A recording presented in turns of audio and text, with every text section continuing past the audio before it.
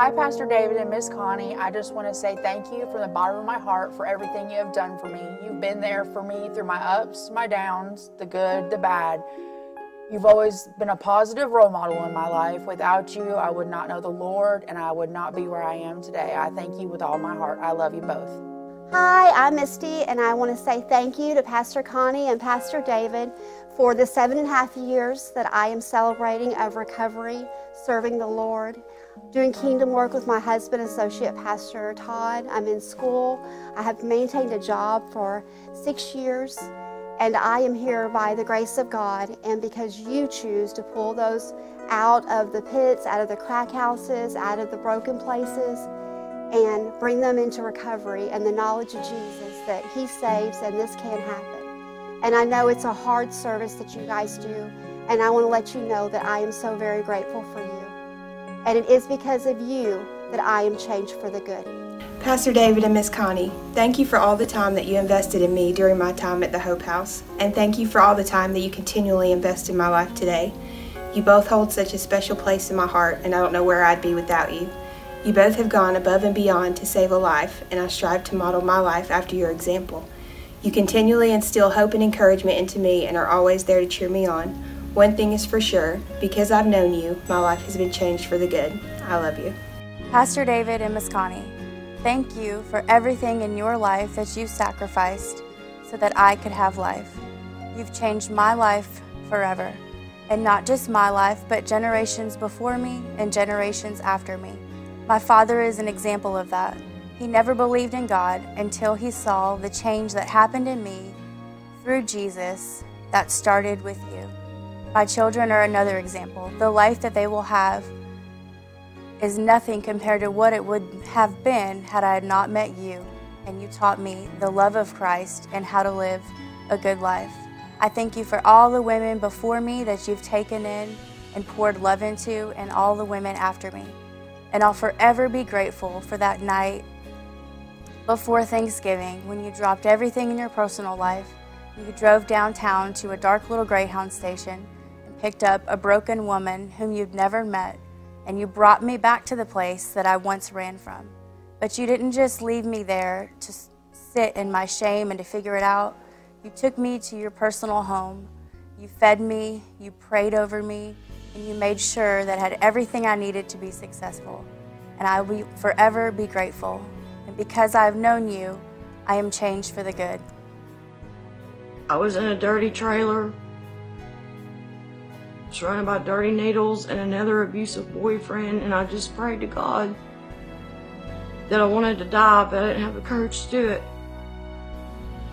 If He could just off me or or put some kind of end to it, then I would be grateful. And um, that's not what happened.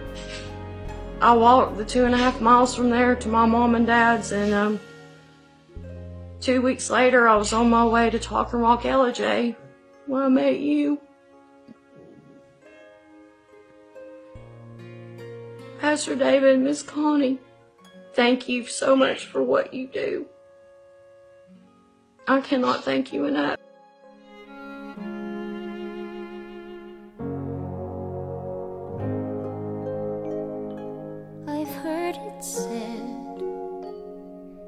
People come into our lives for a reason, bringing something we must learn, and we are led to those who help us most to grow if we let them, and we help them in return. Well, I don't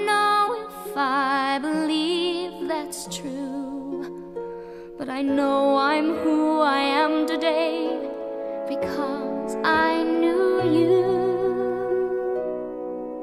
Like a comet pulled from orbit as it passes a sun, like a stream that meets a boulder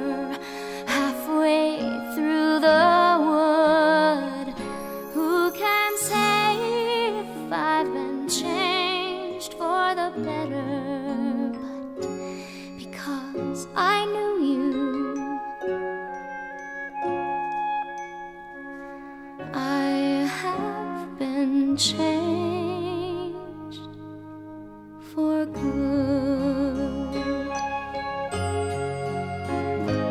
It well may be that we will never meet again in this lifetime. So let me say before we part, so much of me is made of what I learned from you. You'll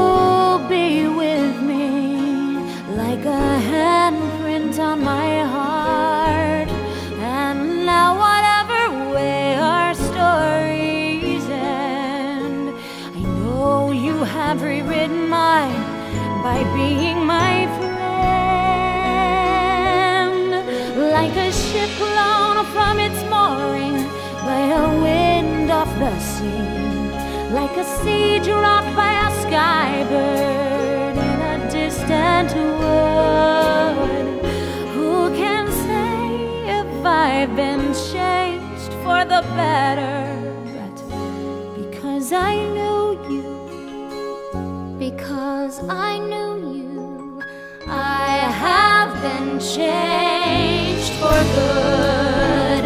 And just to clear the air, I ask forgiveness for the things I've done you blame me for.